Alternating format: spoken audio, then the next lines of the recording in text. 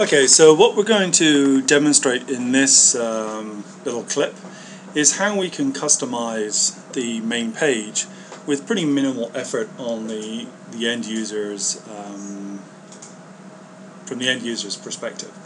So what we can do here at the top you see that there's a, an open menu bar. If we click on this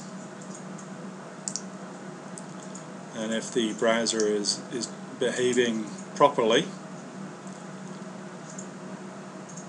Yep, so we click on this guy.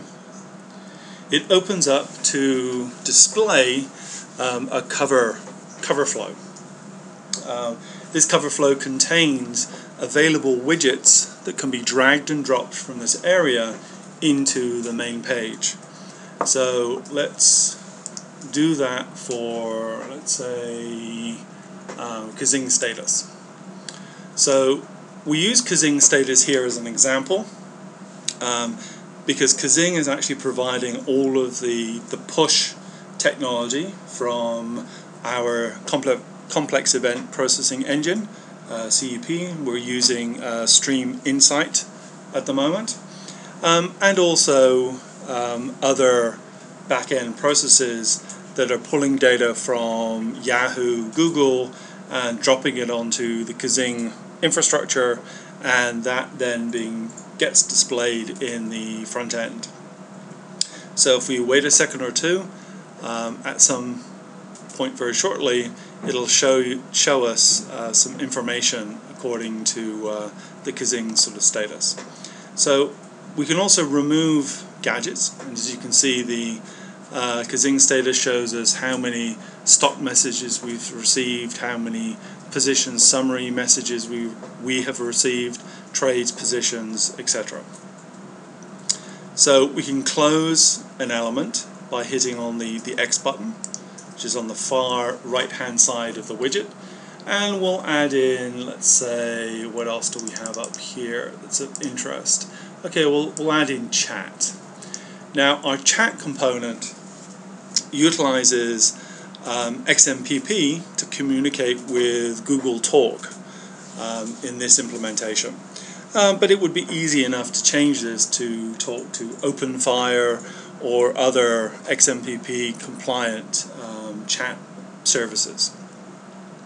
Um, as you can see, I dragged and dropped the chat element from our um, cover flow. We'll quickly close that. Um, and now you can see on the left hand side a list of uh, names, on the right hand side chat history. But there's really not that much room to uh, look at what we've got here. So what we can do is we can actually maximize this gadget. So we've maximized the chat gadget and now let's say I want to talk to um, Bruce Popel. So I click on Bruce Popel and I get for that contact I get a, um, um, a pop-up window that I can talk directly to Bruce. But if I then also wanted to talk to Eikos partners, I can click on that and, and see um, Eikos partners. So very similar to the way that Gtalk works. Let's minimize that. If I maximize the position details, you'll see how the screen changes to show both position information in the grid and also as a chart. Uh, and if I look at the exploding pie chart that we have, if I maximize, it then allows me to look at the dimensions that I'm showing on the screen along with measures. What this pie chart is doing is each ring represents a dimension and the segmentation of each ring is determined by the measure you've selected. So the default measure I believe is by quantity but if I change it to buy realized or to sell quantity, you can see how quickly the, the chart updates to show the, the breakdown. Um, if I'm interested in showing a different set of dimensions, so we've got equity, everything is equity in the uh, system at the moment. I go to username, as you can see, Pete has a lot of uh, activity and we've got smaller sets of activity down for uh, Pete. Let's try fun name. Uh, not very interesting.